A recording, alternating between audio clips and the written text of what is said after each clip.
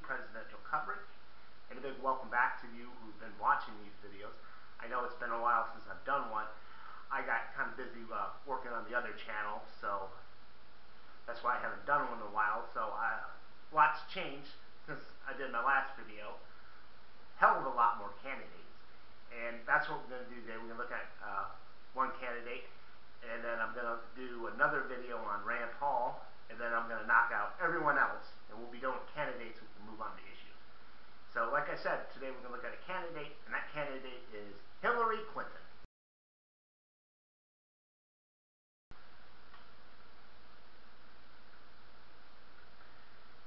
You don't know who Hillary Clinton is? Come on now, it's, it's Hillary Clinton, former First Lady, former Senator, former Secretary of State. Still not ringing any bells? Wow. Okay, I'm not going to tell you who she is. If you don't know who she is, you need to get your shit together. Wow, and I thought the last question was stupid and pointless. Did she get the nomination? Hasn't she already gotten it?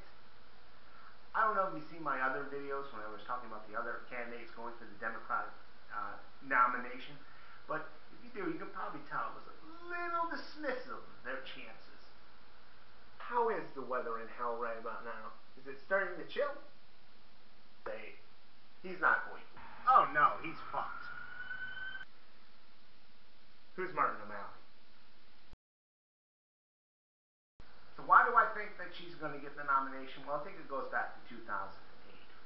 Uh, during that election, everyone kind of knew that the, the Democrats were going to win in 2008. People were pissed off at Bush and they were going to take it out for Republicans any Democrat could have won. Kucinich could have won. That old coot, Gravel, could have won. So the Democrats, they said, you know what, let's jazz it up. Let's try to get something that we haven't seen in the White House at all. So, you know, they said, well, why not a female president or a black guy as president? And we all know how that turned out, right? We all know how that turned out. They went with the black guy. Well, that caused some hurt feelings between the Democrats who wanted to see a woman in the White House. So now they're going to make up for that by having their next nomination in uh, 2016 being a woman. And she's the only woman running for the Democratic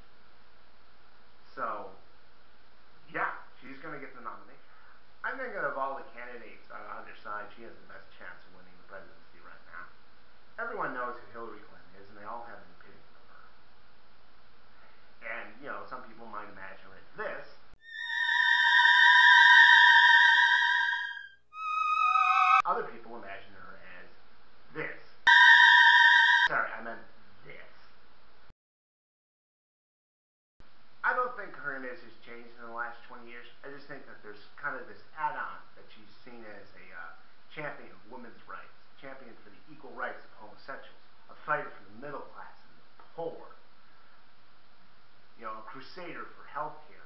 And this has greatly helped her. She has built one hell of a fan base on this. this is why we're seeing her at 60%, and the other Democrat nominations are lucky they can get into double digits at all.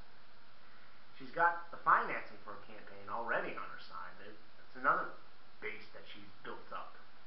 They said that she's going to be spending, they say that the, the people are going to be willing to spend $1 billion to see her get in the White House. Like I said before, there's a push for a woman president She's the only woman on the Democratic side running, the uh, woman on the uh, Republican side running, well, even if Carly Fiorina does get the nomination, her going up against Hillary Clinton, Hillary Clinton's going to eat her alive. Just winning her winning the nomination. I've given all the reasons that. Can she still lose? Yeah, I think she could still lose. It's just uh, a matter of the Republicans choosing what battles they want to fight her against. If they go up against the uh, recent Supreme Court ruling that legalized uh, marriage for same-sex couples, she's going to eat them alive. they can't fight that though. You, you go now. They would go up against her against something like the uh, Obamacare Republicans like, hey, we're going to repeal this. We're going to change this she's of course going to fight for it. it. I think I could see her losing that battle when people, when the, the Republicans start bringing in the cost. Then they're going to start attracting those uh, Reagan Democrats, if you will. If um, the Second Amendment and guns is an issue, she'll stick with her fan base. Like we need these regulations, we need to change this, and you'll find out how popular the Second Amendment is with most Americans. I think it's more popular than people want to admit. And that, that's something that you would lose on. So we'll see how that turns out. I, I for one think that the best candidate they can put up against her right now would be Rand Paul. And uh, we'll see. We'll talk about him next time.